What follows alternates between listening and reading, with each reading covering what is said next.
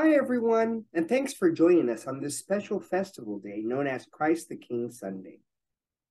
Today's gospel reading is about Jesus being crucified at the cross and is the last story we hear before we enter into the Advent season and the story of Christ's birth. So, what does this reading have to do with us calling it Christ the King Sunday? Well, you see, it all started at Jesus' birth. People in the Bible times really wanted a new king, and they hoped Jesus would be their new king. A normal, traditional king that wears a golden crown and purple robes, that lives in a palace and leads people.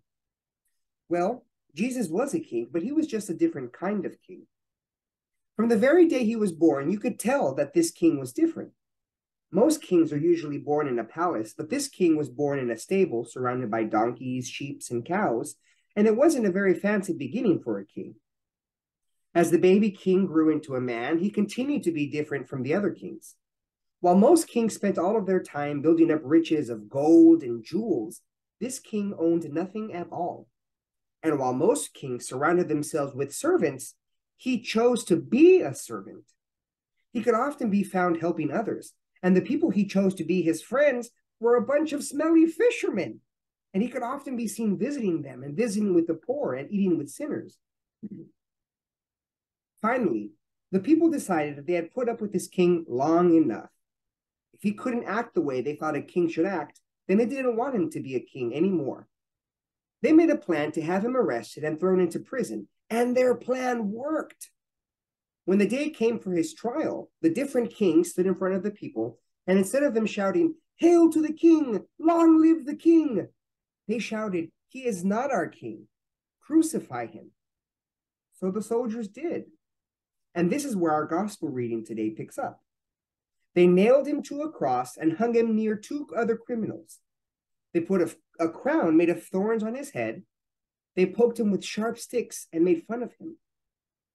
One of the two criminals believed Jesus to be a different king and said, Remember me, Jesus, when you come into your kingdom.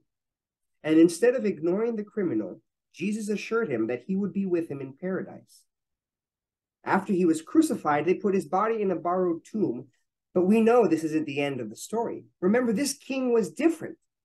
This king rose from the grave to live forever. The reading today reminds us that instead of being a king over a country, Jesus is the spiritual king over the entire universe for all time and eternity. He is the king to anyone who chooses him to be their king. His different way of being a king reminds us that we too can be kingly on earth if we follow the teaching of Christ and love our neighbors instead of loving our royal treasures or palaces. Will you pray with me, please? Mighty King of eternal love, we thank you for your teachings of how to be different than what is expected. Thank you for showing us and teaching us the way to share your love and compassion with others and for being the example of true nobility and royalty. In your name we pray. Amen. Thank you.